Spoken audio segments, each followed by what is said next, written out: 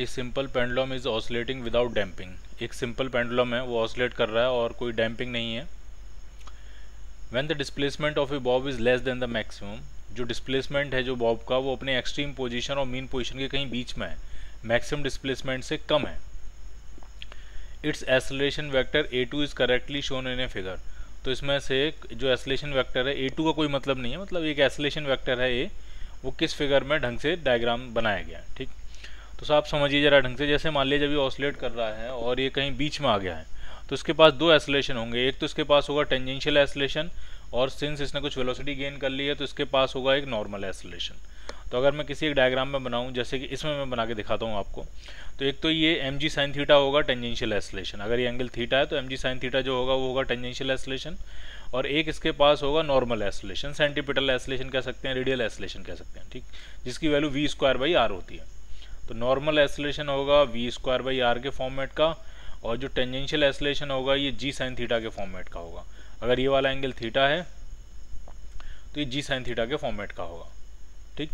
तो जो net acceleration आएगा, वो इन दोनों एसलेशन का रिजल्टेंट होगा। वो किसी भी डायरेक्शन में हो सकता है। ठीक है? लेकिन रहेगा इन दोनों के बीच में टेंजेंट और रेडियल इन दोनों के बीच में रहेगा। तो आपका जो आंसर बनेगा, वो क्या बनेगा? C part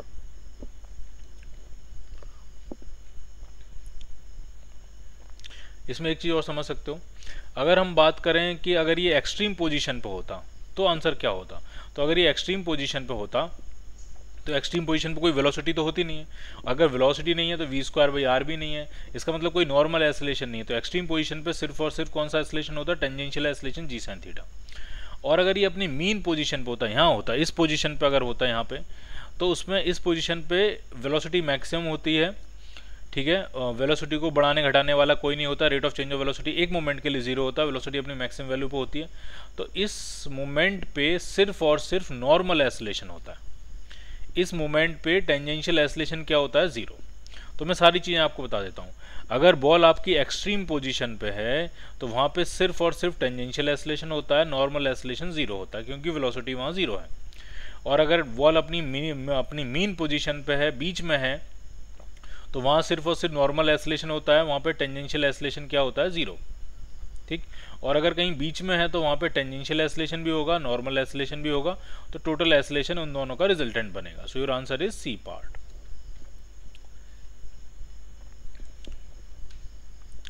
a simple pendulum is made of a body which is hollow sphere containing mercury suspended by a means of wire if the little mercury is drained off the the period of pendulum will will remain क्या रहेगा, बदलेगा, बढ़ेगा, कम होगा, क्या होगा, ये आपसे पूछ रहे हैं। तो एक सिंपल सा सेटअप है, समझ लीजिए, आगे भी याद रहेगा वो आपको।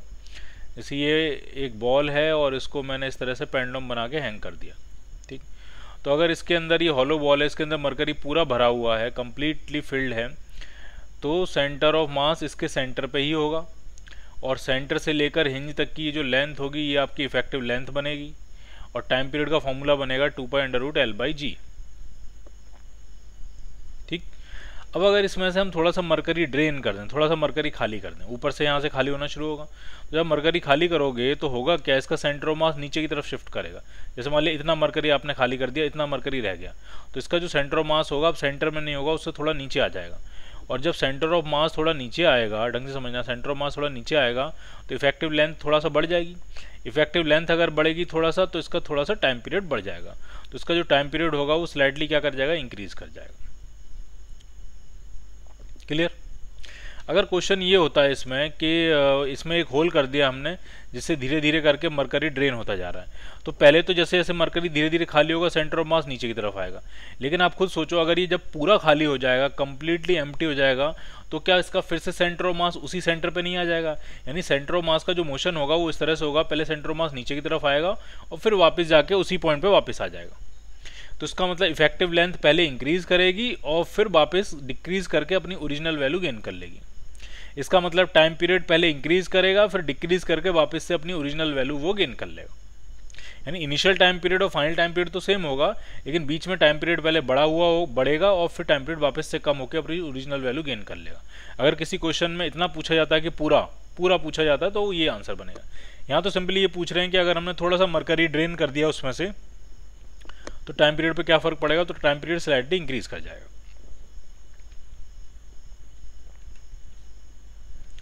इसमें क्या है, एक सिंपल पेंडुलम है, उसकी बॉब हॉलो मेटल स्फीयर है, उसका टाइम पीरियड टी है। अगर हॉलो है तो टाइम पीरियड कितना दिया है आपको? टी फिर हमने क्या किया, उसको सैंड से भरा, एक केस में टाइम पीरियड टी वन है। फिर हमने उसको मरकरी से भरा टाइम पीरियड टी टू है। फिर हमने मरकरी से लेकिन आधा भरा टाइम पीरियड टी थ्री है। तो मुझे ऐसा लगता है कि पहले केस में सेंटर ऑफ़ मास एकदम सेंटर में होगा। दूसरे केस में भी सेंटर ऑफ़ मास एकदम सेंटर में होगा, क्योंकि आपने सेंट से उसको पूरा भर दिया है। और तीसरे केस में भी सेंटर ऑफ़ मास एकदम सेंटर में होगा। यानी टी टी वन और टी टू ये तीनों टाइम पीरियड बराबर होंगे। लेकिन जब इसमें मरकरी थोड़ा सा हमने खाली किया है तो इसका मतलब इसका सेंटर ऑफ़ मास थोड़ा नीचे आ गया हो और सेंटर मास नीचे शिफ्ट होने की वजह से लेंथ बढ़ गई इफ़ेक्टिव लेंथ और इफ़ेक्टिव लेंथ की वजह से इसका टाइम पीरियड बढ़ गया। जो टी थ्री होगा, वो इन तीनों से ज़्यादा होगा। So your answer is D part.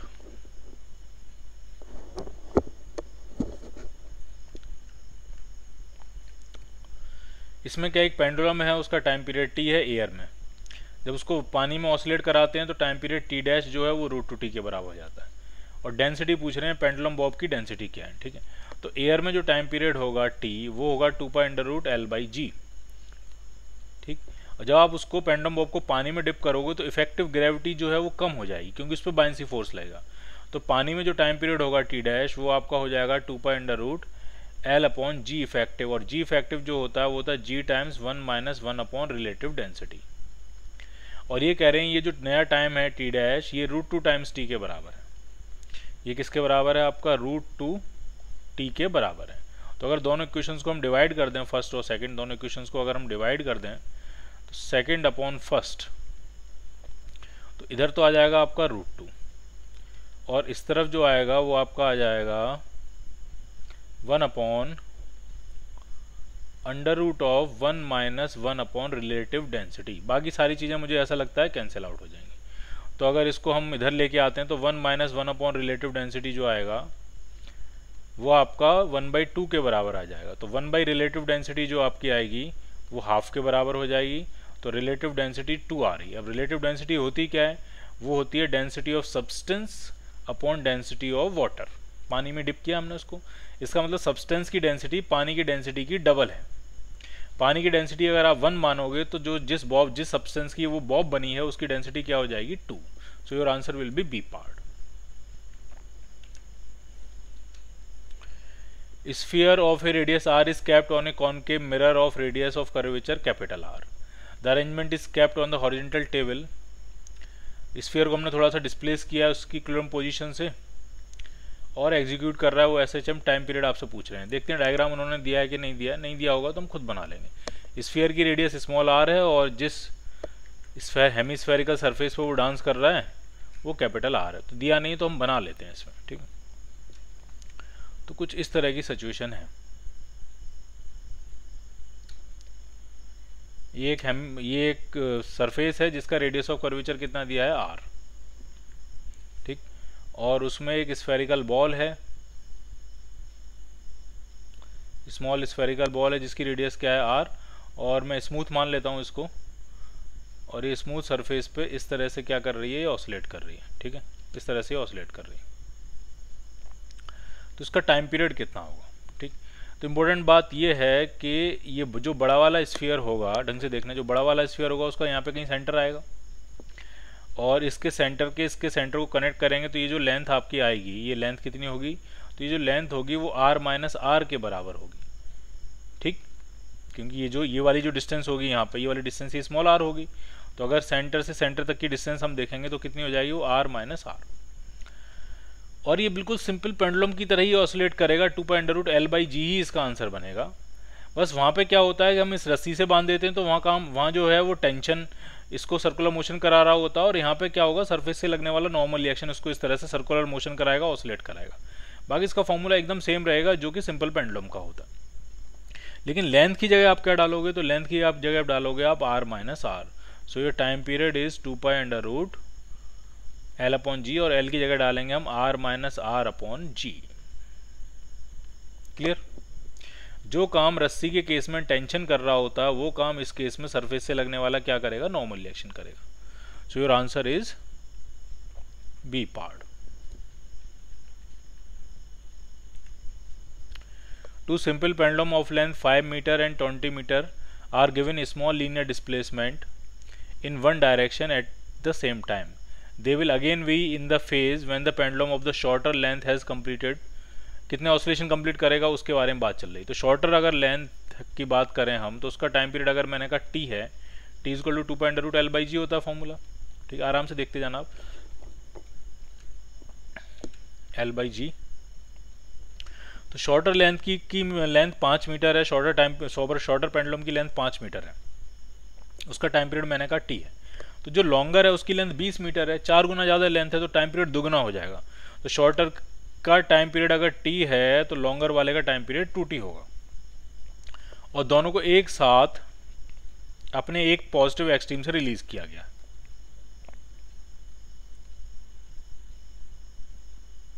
दोनों को एक साथ अपने पॉजिटिव एक्सट्रीम से रिलीज़ किया गया, एक साथ। तो क्वेश्चन में पूछ रहे हैं they will again be in the phase वो दोबारा से सेम फ़ेज़ में कब आएँगे? ठीक है?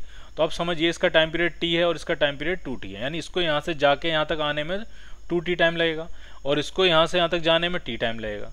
लेकिन टू टी टाइम के बाद अगर मैं सोचूं तो टू टी टाइम के बाद ये इसी पोजीशन पे मिलेगा, और ये भी टू टी टाइम के बाद इसी पोजीशन पे मिलेगा, लेकिन इसने दो ऑसोलेशन कंप्लीट कर लिए होंगे। एक बार जाएगा, फिर आएगा, फिर जाएगा, फिर आएगा। यानी मैं ये कह सकता हूँ कि टू टी टाइम के बाद दोनों का फ़ेज़ फिर से क्या हो जाएगा सेम लेकिन टू टी टाइम में बड़े वाले ने एक ऑसोलेशन कंप्लीट किया होगा, और छोटे वाले ने दो ऑसोलेशन कंप्लीट कर लिए होंगे। लेकिन ये दोबारे से अपने सेम फ़ेज़ में ये दोबारे से आ जाएँगे। तो उस क्वेश्चन में ये पूछ रहे हैं कि they will again be in the phase when the pendulum और शॉर्टर लेंथ शॉर्टर लेंथ वाला कितने ऑसोलेशन कंप्लीट कर लेगा? टू तब वो दोबारा से सेम फ़ेज़ में आ जाएँगे। अगली बार कब से सेम फ़ेज़ में आएँगे? जब शॉर्टर वाला चार ऑसोलेशन कंप्लीट कर लेगा। अगली बार कब आएँगे? जब शॉर्टर वाला छह ऑसोलेशन कंप्लीट कर लेगा। तो ये वीडेंट है, इसमें कुछ कैलकुलेट करने की आपको ज़रूरत नहीं है। So your answer is C part इसमें क्या कह रहे हैं, एक द पीरियड ऑफ़ पेंडुलम का oscillation of simple pendulum of length l suspended from the roof of a vehicle which moves down without friction on a inclined plane of inclination alpha समझिए जरा क्या सिचुएशन है। इसमें इस तरह की situation है कि एक इंक्लाइंड प्लेन है, उस पर एक बॉक्स है और स्मूथ सरफेस है तो ये नीचे की तरफ़ कितने एसलेशन से एसलेट कर रहा होगा? जी साइन एल्फा से एसलेट कर रहा होगा। एल्फा का एसलेशन और उसके अंदर एक पेंडुलम है, वो पेंडुलम ऑसलेट कर रहा है, उसके टाइम पीरियड के बारे में हमें बात करनी है। तो सबसे पहले मैं आपसे ये पूछूँगा कि उस पेंड उस बॉक्स के अंदर इफ़ेक्टिव ग्रेविटी कितनी होगी? तो उस बॉक्स के अंदर इफ़ेक्टिव ग्रेविटी होगी जी कॉस एल्फा क्यों होगी जी कॉस एल्फा आराम से समझिए। देखिए, इस पेंडुलम पे इधर फोर्स लग रहा होगा एम जी कॉस एल्फा बढ़िया। एक इधर लग रहा होगा एम जी साइन अल्फ़ा बढ़िया। लेकिन अगर आप इसी पेंडुलम बॉक्स के अंदर बैठ के देखोगे तो ये तो एसलेटिंग फ्रेम हो गया। तो एसलेटिंग फ्रेम हो गया तो इसमें एसलेशन के अपोजिट डायरेक्शन में सूडो फोर्स लगेगा सूडो फोर्स होता है एम इंटू ए और इसका एसलेशन खुद जी साइन एल्फा के बराबर है। तो ए की वैल्यू आप डालोगे जी साइन एल्फा तो ये एम जी साइन एल्फा का pseudo force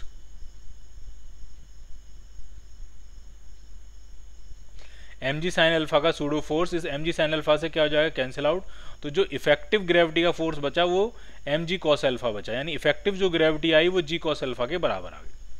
और अगर effective gravity gravity g cos alpha है तो टाइम पीरियड तो आप तुरंत लिख दोगे two point root l by g effective and g effective is g cos alpha so your answer is two point root l by ये one नहीं है, ये एल है, ठीक है? इसको आप मान लीजिए, ये क्या है? एल है। L L and L. So it is L upon G cos alpha A part.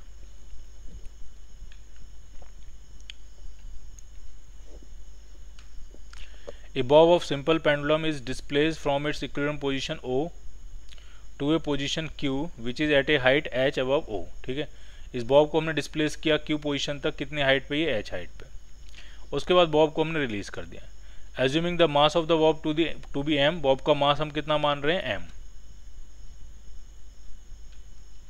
ठीक and time period of oscillation is the 2 second. Time period 2 second.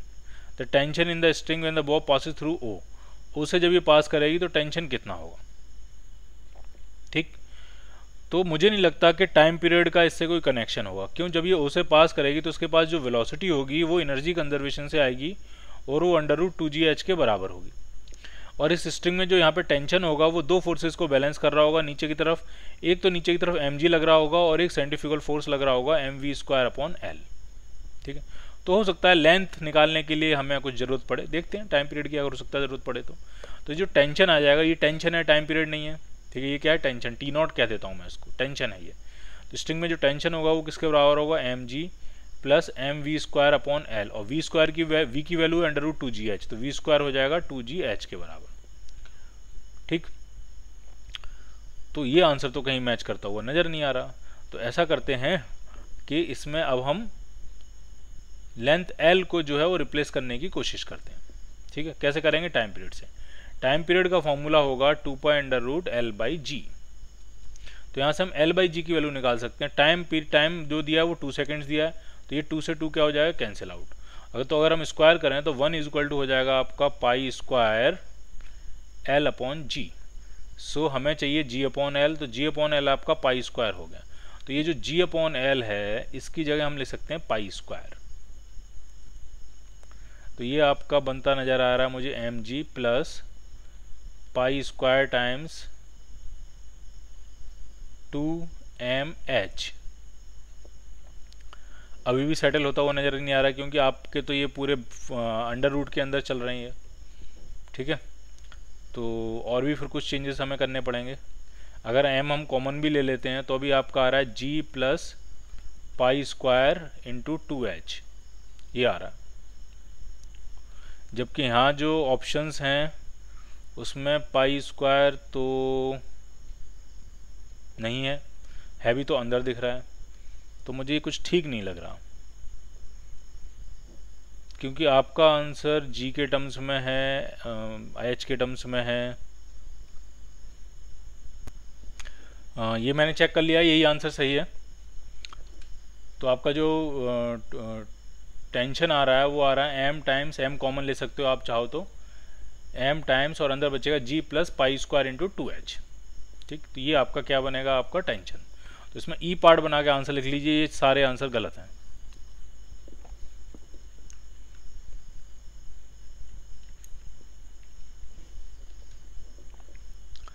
Two simple pendulum whose lengths are hundred centimetre and one twenty one centimetre are suspended side by side their bobs are pull together and then release ठीक है, दोनों को extreme position तक खींचा हमने। एक की length सौ सेंटीमीटर एक की लेंथ 121 सेंटीमीटर है, ठीक है? एक छोटा है पेंडुलम रिलेटिवली और एक थोड़ा सा बड़ा है। और इनको ऐसे एक्सट्रीम पोजीशन तक छोड़ा और रिलीज़ कर दिया। तो मैं आपसे ये कहता हूँ कि अगर इसका टाइम पीरियड टी होगा तो इसका टाइम पीरियड 1.1 टी होगा। क्योंकि टाइम पीरियड होता है under two l by g और इसकी लेंथ है 100 इसकी लेंथ है 121 तो जब आप कंपेयर करोगे तो इसका टाइम पीरियड अगर टी आएगा, अगर इसका टाइम पीरियड टेन टी होगा तो इसका इलेवन टी होगा। इसका टाइम पीरियड अगर टी होगा तो इसका टाइम पीरियड होगा आपका 1.1 टी ठीक? अब हम क्या कर सकते हैं आ, कि ये पूछ रहे हैं कि कितने मिनिमम ऑसोलेशन के बाद वो दोबारा से सेम फ़ेज़ में आ जाएँगे ठीक? तो आप कुछ कॉमन सेंस लगा के सोच सकते हो। जैसे कि सिंपल समय जैसे कि आपने मैंने कहा कि इसका टाइम पीरियड है दस सेकेंड ऐसे ही ऐसे ही मान लिया ठीक? तो इसका जो टाइम पीरियड होगा वो कितना आ जाएगा? वो ग्यारह सेकेंड आ जाएगा ठीक?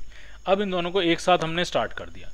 एक साथ जब हमने स्टार्ट कर दिया तो ये दोबारा से सेम फ़ेज़ में कब आएँगे? तो दोबारा से सेम फ़ेज़ में आएँगे 10 सेकंड और इस 11 सेकंड का एलसीएम यानी 110 सेकंड के बाद ये दोबारा से सेम फ़ेज़ में आएँगे।